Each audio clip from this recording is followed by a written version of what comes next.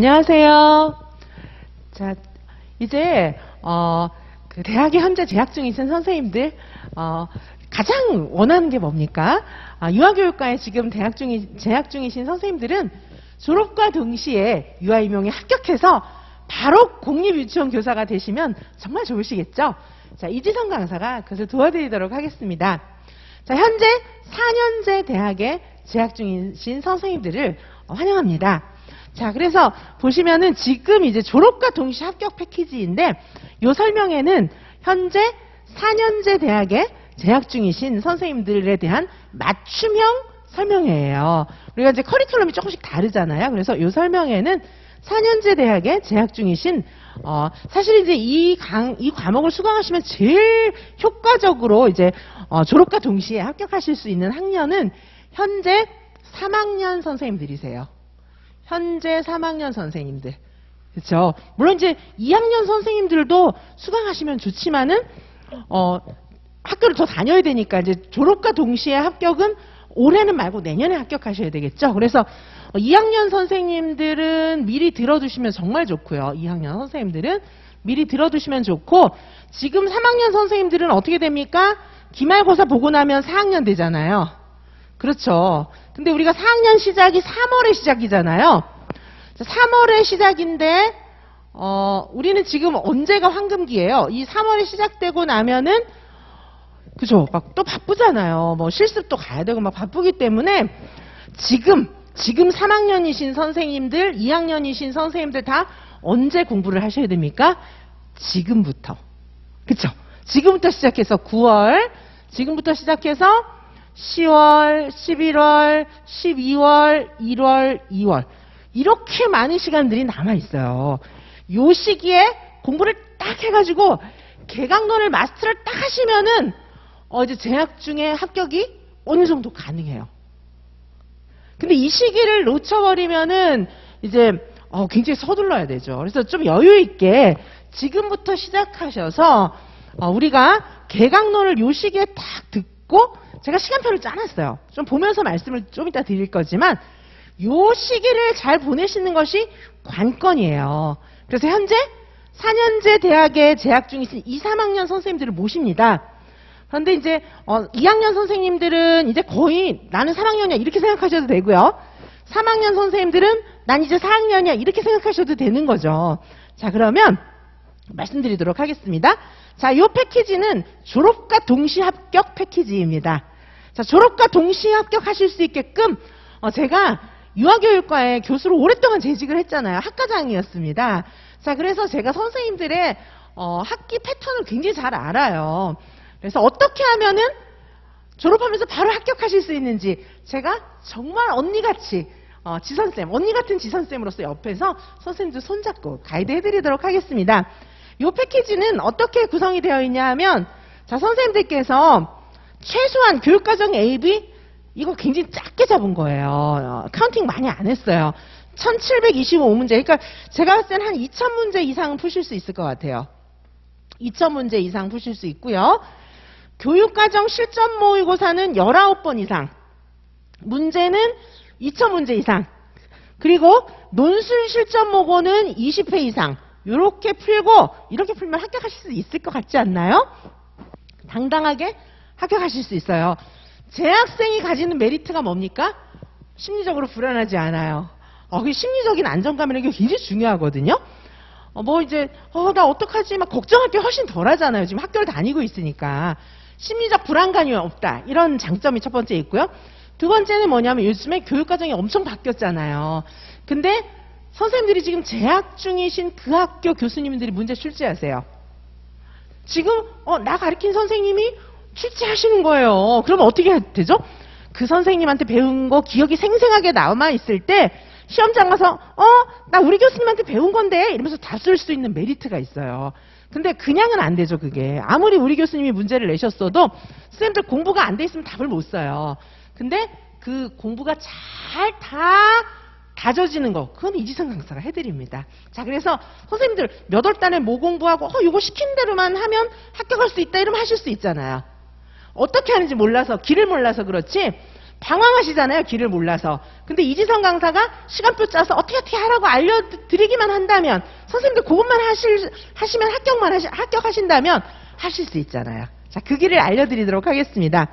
자, 졸업과 동시에 합격 페이지, 합격 패키지 지금부터 어, 설명드리도록 하겠습니다.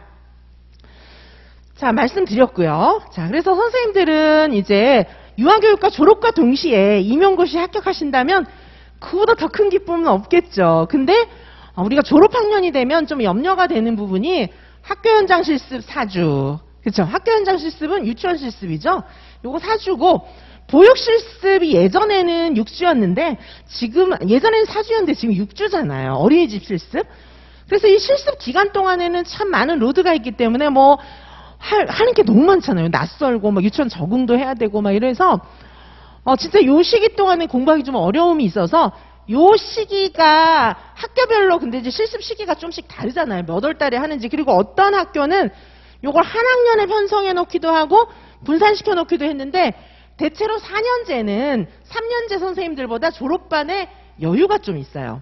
왜냐하면 졸업 학점이나 이런 것들이 4년으로 분산되다 보니까 3년제 선생님들보다는 매 학기마다 들어야 하는 교과목 수도 좀 적고 그리고 대체로 실습이 이렇게 학년별로 좀 분산이 되어 있어요. 그래서 4년제 어, 선생님들은 대체로 실습에 대한 부담이 3년제보다는 조금 적, 적습니다. 그리고 교과목 수강 뭐 이런 거에 대한 부담도 4년제 선생님들은 조금 적어요. 그래서 충분히 하실 수 있어요.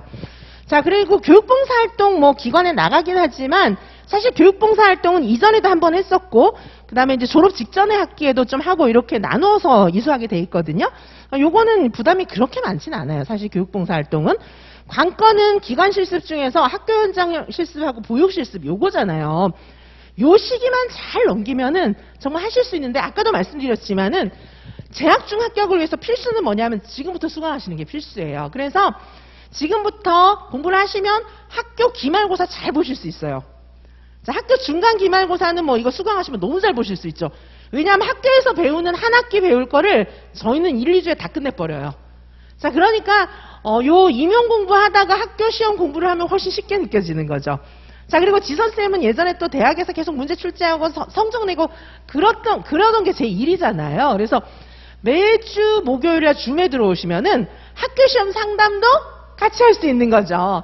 자, 그래서 일석이조 요 과목을 들으면은 저하고 같이 요 패키지를 공부하시면은 유아임용도 합격하고 학교 성적도 잘 받고 이게 되는 거예요. 근데 이제 어, 실습 기간만 잘 활용하신다면 충분히 합격하실 수 있고 관건은 지금부터 공부하시는 게 필요해요. 그래서 지금부터 공부하셔서 지금이 이제 9월 말인데 9월, 10월, 11월, 12월, 1월, 2월 6개월 동안에 개강론을 싹 끝내는 겁니다. 자 그리고 나서 이제 어, 제가 이제 그 시간표 짜놓은 거는 한 학기 실습 다 들어가 있는 선생님도 할 수 있어요. 1년에 실습이 봄, 가을에 해서 학교 현장 실습 4주, 보육 실습 6주 이렇게 해서 그거 다 들어가 있는 선생님들도 충분히 하실 수 있게 짜놨는데 하물며 자, 우리 이제 4년제 선생님들 지금 제 설명이 들으시는 선생님들 중에서 한 학, 1년에 한 번만 실습이 들어있는 경우가 많거든요. 학교 현장 실습 또는 보육 실습 이렇게 이제 어, 실습이 1년에 하나만 들어있는 그런 어, 학교들도 있기 때문에 그런 경우는 뭐 너무 쉬운 거죠, 사실. 그쵸? 자, 그래서, 자, 어, 자, 저는 이제 말씀드렸지만 지난 15년간 유아교육과 학과장 했고요. 자, 그러니까 너무너무 선생님들 잘 알아요. 그래서 지도를 충분히 잘 해질, 잘 해드릴 수가 있고요. 자, 선생님들 정말 목표잖아요. 뭐죠? 졸업과 동시에 합격. 아, 이거 너무너무 선생님들 원하시는 거잖아요. 요 꿈을 이루어 드립니다. 요 꼭 하게 해 드릴게요. 그래서 어, 졸업과 동시 합격 패키지 수강 대상은 일단 4년제의 경우에는 3, 4학년이신 선생님들을 대상으로 하는데 지금은 3, 4학년이니까 지금 요 선생님들이 몇 학년일까요? 2, 3학년이죠. 그렇죠? 지금 2, 3학년이 내년에 3, 4학년 되는 거잖아요. 그래서 지금 현재 2, 3학년이신 선생님들이 이 재학생 패키지의 수강 대상입니다. 자, 그래서 선생님들 이제 자세히 좀 말씀을 드릴게요. 자, 그래서 일단은 재학생 패키지를 이제 본격적으로 시작하기 전에 pre-school 패키지, pre-school도 이제 수강하시면 더 좋겠습니다. 이 pre-school 같은 경우에는 첨삭 PT 10월 school이라고 해서 어, 저희가 이제 개강을 10월 25일 날 영상으로 개강 예정입니다. 자, 요 강의는 뭐냐 하면은 요거는 이제 논술하고 개인 지도가 들어가는 거예요. 논술하고 논술 서답식 답안 작성 요거 개인 지도가 들어가고요. 유아교육개론 개인 지도 들어가고 강의도 물론 있고요. 그리고 유아교육 과정도 강의가 들어갑니다. 그래서 요거는 진짜 몇 번 강의를 안 해요. 몇 번 강의를 안 해서 한 5회 정도 안에 개강론하고 논술하고 싹 끝내버리는 거예요. 자, 그러니까 요건 뿌띠. 아, 뿌띠 1년 공부를 미리 줄여서 하는 거예요. 그래서 프리스쿨입니다. 그래서 본격적인 패키지 수업에 들어가기 전에 이렇게 뿌띠로 줄여놓은 그죠? 그러면서도 제가 개인 지도를 해드리니까 탄탄한 토대 다지기를 하는 프리스쿨입니다. 그래서 여기서는 어, 유아교육 개론도 좀 줄여서 가르쳐 드려요. 자세하게 설명을 해드리지만 조금 너무 어려운 것들은 빼고 아니면 나중에 다시 이해하기 위해서 진짜 중요하고 어려운 것들은 또 넣고 이런 식으로 해서 개강론을 다 다루어 드려요. 그리고 논술, 우리 또 논술 걱정이잖아요. 그래서 논술과 함께 논술 글쓰기니까 그것과 함께 서답식 답안 작성까지 같이 묶어서 가르쳐 드려요. 그러니까 1년 동안 공부할 걸 미리 쫙 한번 보는 반입니다. 그리고 일주일에 한 번씩 저를 줌에서 만나셔가지고 줌에서 제가 공부 어떻게 하라고 다 개인지도 잘 해드려요. 어, 공부 스케줄도 짜드리고 이렇게 쫙 해드립니다. 자 그렇게 하시면은 일단 자신감이 팍 생기겠죠. 저랑 레포 형성도 하고 이렇게 해서 준비를 철저하게 하시는 거예요. 자 그래서 일단 여기 pre-school부터 먼저 안내를 드렸습니다. 자 그리고 pre-school을 하신 다음에는 자 이제 요거는 우리 이제 시간표 예시예요. 요거는 이제 어, 4년제 선생님들 예시고, 요건 이제 3년제 선생님들 예시인데, 자, 4년제 같은 경우에, 요게 이제 1, 2학기를 통합해 놓은 거니까 요거 절반이죠. 그쵸? 그래서 보통은 3학년 때 보육 실습, 4학년 때 유치원 실습, 요렇게 이제 많이 들어가 있기 때문에, 일단 실습이 분산돼 있다 보면은 여유가 생겨요. 그래서 요 이제 지금 2학년이신 선생님들 내년에 이렇게 공부하실 거고 지금 3학년이신 선생님들 내년에 이렇게 공부할 건데 자, 뭐 몇 과목 안 되기 때문에 이걸 또 2학기로 나누잖아요. 예를 들면 4학년 때 이걸 2학기로 나눈다 이러면 진짜 몇 개 안 되거든요. 충분히 하실 수 있어요.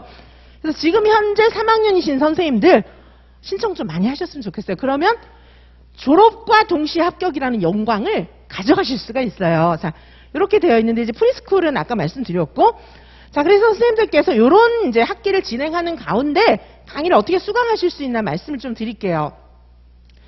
자, 보시면은 어, 여기 일단 제일 중요한 게 그 1, 2월에 이제 수강하실 그런 부분들이죠. 그쵸? 그래서 어, 뭘 수강하실 수 있냐 하면 요거 이제 어, 9월에서 2월 요때 기본 이론을 집중 수강하는 거 요게 이제 진짜 중요해요. 그래서 여기에 뭐뭐가 들어있냐면 유아교육 개론, 유아교육 과정. 그래서 요거를 이게 좀 강의가 조금 많죠. 자세해요. 근데 사실은 지금 9월부터 내년 2월까지 해서 요 강의를 다 들으신다. 아, 요거 진짜 천천히 들으셔야 돼요. 요 강의를 다 들으신다 이러면 너무너무 많은 걸 하시는 건데 어 3월 달이 되면 이제 대학이 개강을 하잖아요. 근데 그때 사실은 이제 논술을 넣어놨어요. 3월 달에.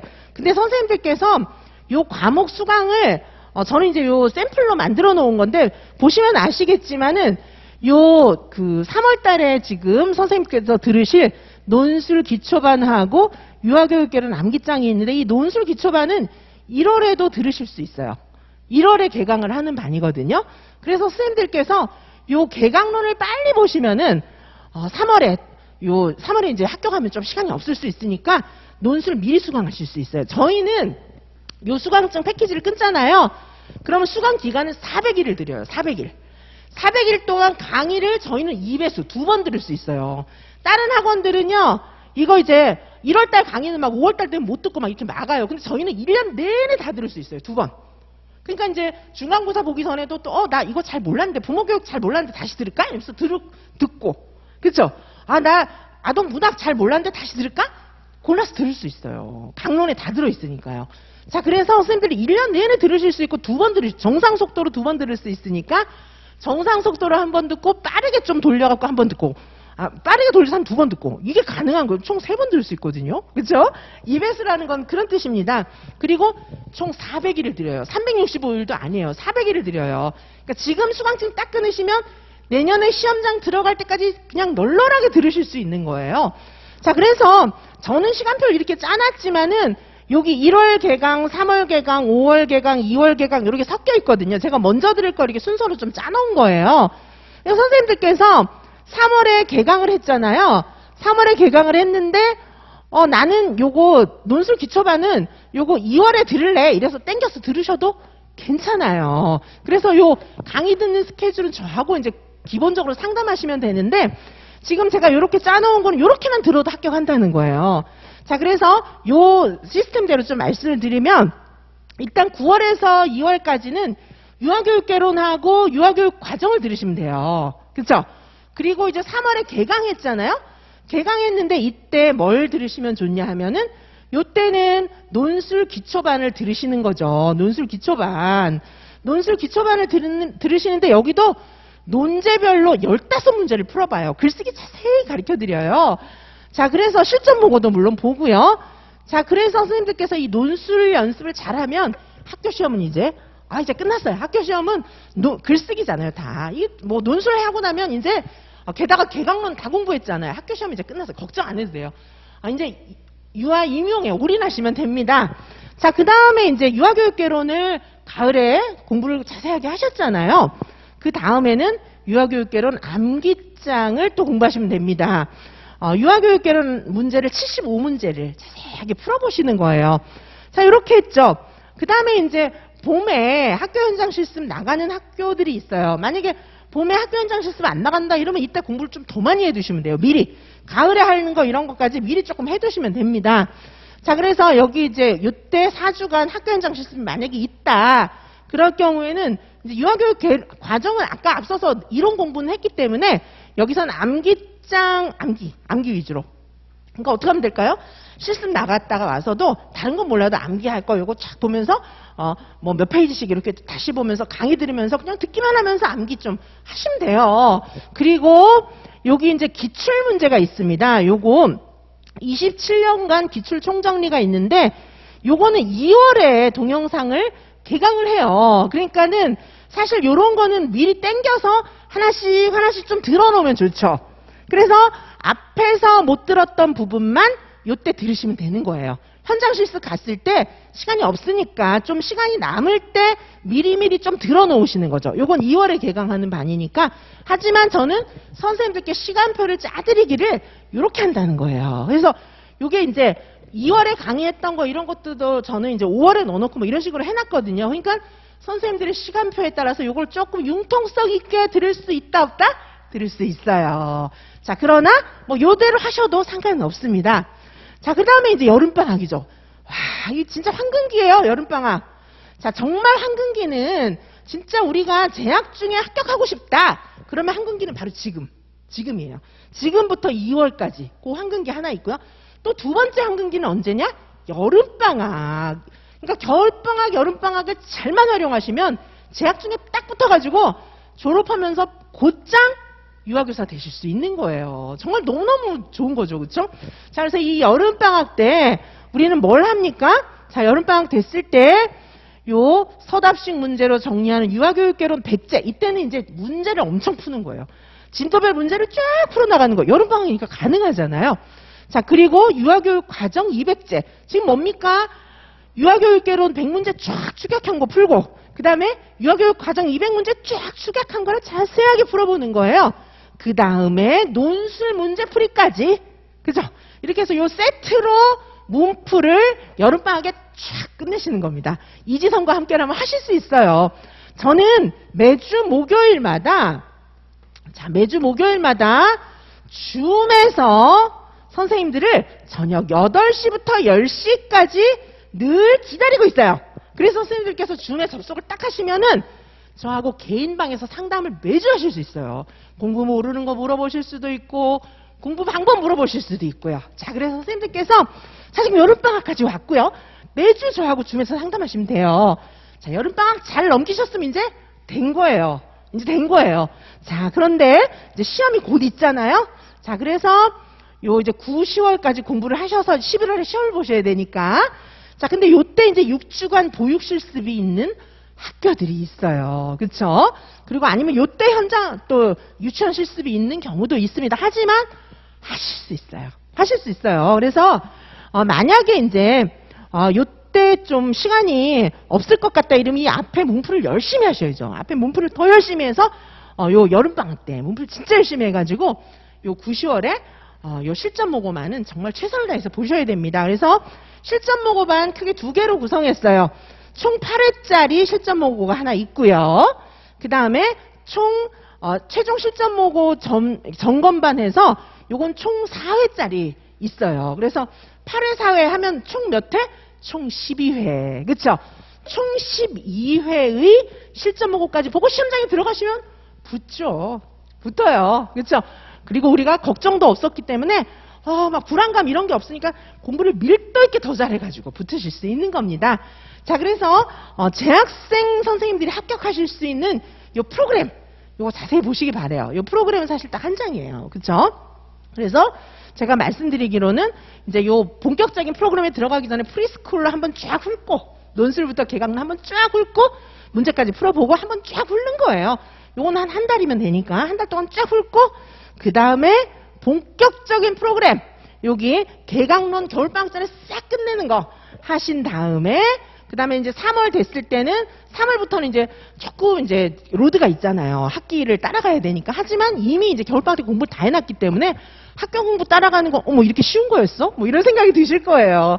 자, 이렇게 하셔가지고, 어, 대학 개강했을 때는 이제 문제 중심 논술을 하고, 어, 암기 시작하는 겁니다. 유아교육개론 암기 시작하고 해서, 실습 나갔을 때 혹시 요 실습을 이제 요 시기에 나간다 그러면 지금 요 미- 강의들 미리 하는 가, 2월 3월에 하는 강의들도 여기 들어 있거든요. 그건 좀 땡겨서 들으실 수 있어요.